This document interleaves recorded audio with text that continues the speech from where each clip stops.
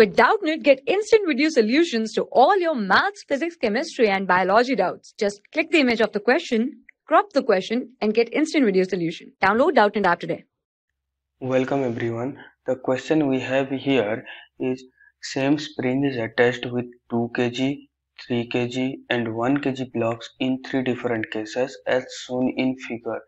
So let x be the extension produced in a spring then we have to find the relation between the x1 x2 and x3 extension produced in the spring is due to the force acting on the spring which is equal to the tension on the string. So let's come to the case 1 let us consider the left side block is moving downward with acceleration a hence the right side block moves upward with the same acceleration a. Let's consider the tension on the string v t. So here also it is t and force gravitational force is acting downward in both the blocks which is mg. Okay? So from the free body diagram of the left side block we get 2 into a equals 2 into g minus t.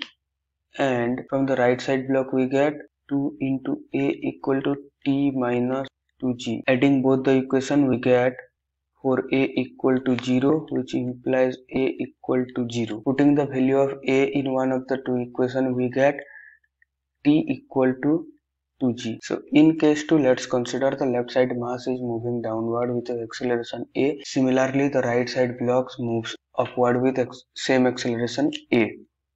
So from the free body diagram of left side mass we get 3a equal to 3g minus t. And similarly for the left side mass 2a equal to t minus 2g. After solving we get 5a equal to g which implies a equal to g by 5. So after putting the value of a in one of the above equation we get t equal to 12 by 5g. Let's consider the case 3.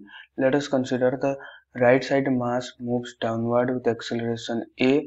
Similarly, left side mass will move upward with acceleration a. Gravitational force mg, tension T. From the free body diagram of the left side mass we get A equal to T minus G. From the free body diagram of the right side mass we get 2A equal to 2G minus T. Adding both the equation we get 3A equal to G.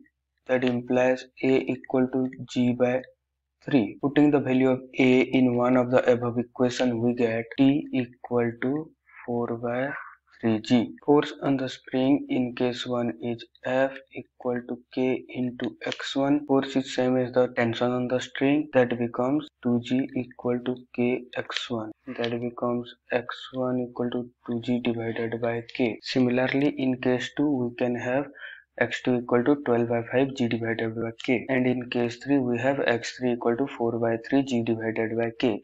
K is same in each case because spring is same. Comparing the values of x1 x2 and x3 we can say x2 is greater than x1 is greater than x3 this is the answer. Hence we can see our correct answer is option b. Thank you for class 6 to 12, IIT JEE and NEET level. Trusted by more than 5 crore students. Download Doubtnut app today.